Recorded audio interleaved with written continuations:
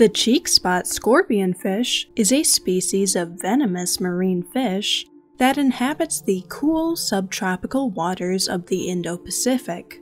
They are abundant in Japanese waters and uncommon in other parts of their range. They live near shore on the seafloor, in coral and rocky reefs from depths of 3 to 131 feet.